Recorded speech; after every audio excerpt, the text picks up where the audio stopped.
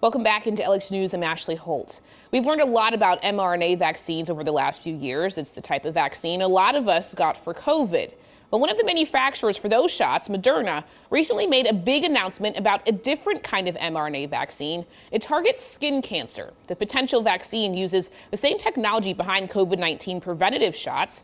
It performed well in a small study and it aims to train a patient's immune system to recognize and respond specifically to mutations in their tumor. The company says the patient group that took the potential vaccine and Keytruda, a prescription used to treat skin cancer, it saw a 44% drop in the risk of death or the cancer returning. Here's Moderna CEO. As you know, cancer is a mutation of healthy DNA. Uh, now, we, thanks to sequencing technology, we're able to basically look very precisely what mutation do you have in your cancer right now, compare this to a healthy cell of your body, and design a product within you know, 45 days today. Soon it's going to be 30 days, just designed for you to teach your T cell how to recognize the mutation of your cancer. LX News host Eric Alvarez spoke to Dr. Meredith McKean about it. She's the Associate Director of Melanoma and Skin Cancer Research at the Sarah Cannon Research Institute. That's one of the facilities who helped conduct this research. So, Dr. McKean, there are obviously different kinds of skin cancer, a lot of very dangerous, sometimes challenging to treat. So, how big of a difference could this vaccine make in how we do it moving forward? I mean, this could be this could be a, a big game changer um, for the patients that were treated on the study. So all these patients were patients with high risk melanoma. So this were uh, this was patients with a deep primary um, that this melanoma had potentially spread to some of the lymph nodes or had spread to um, some of the um, skin surrounding um, that primary tumor, and it even included patients that had stage four melanoma that that cancer had actually uh, metastasized either to the lung, the brain, any other location, and that um, cancer was removed in the body. And so um, these patients all received. Uh, you know, surgery up front, and then the standard of care uh, Keytruda, and then uh, patients were randomized either receive standard Keytruda versus uh, Keytruda with the personalized cancer vaccine.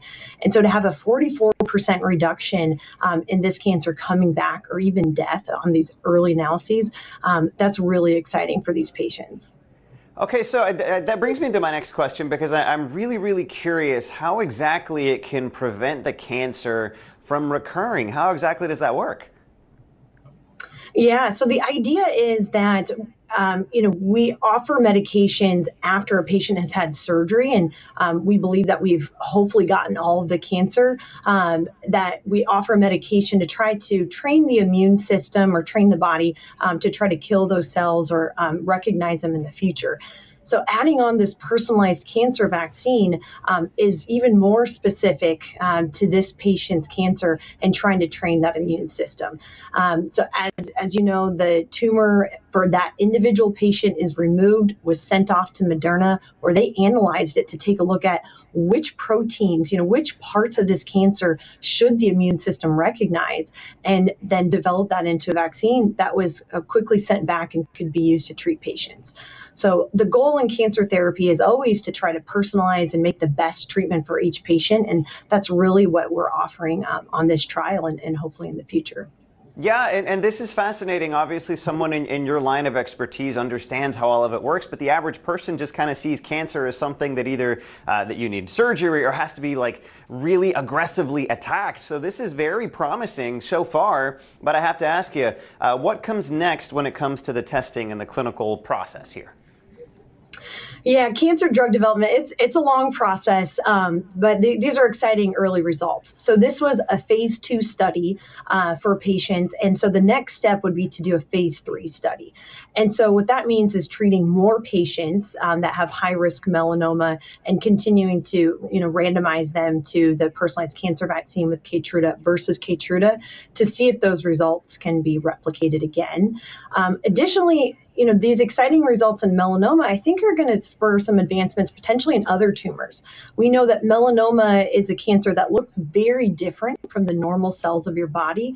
And so it's a little bit easier for the immune system to recognize it. And so the idea is, well, maybe this could still be beneficial for other tumors that might be a little bit harder for the immune system to find. And so I think we're going to see additional studies with this mRNA technology. Yeah, and I'd really love to just kind of hit on that last point uh, if we can. And, and obviously, I, I, hope you understand that a lot of our viewers who are watching this are, are feeling a sense of hope.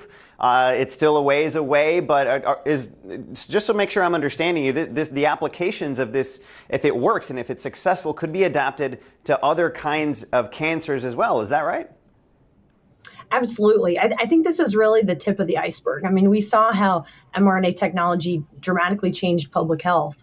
Um, and so I think, you know, we're really just starting to see um, how it could potentially transform our cancer therapies. Well, this is certainly fascinating, giving a lot of hope to a lot of people, but uh, the science continues, as we like to say. Dr. Meredith McKean at the Sarah Cannon Research Institute, thank you so much for your research, for understanding, and of course, for coming on to explain it to the rest of us. We appreciate your time. Thank you.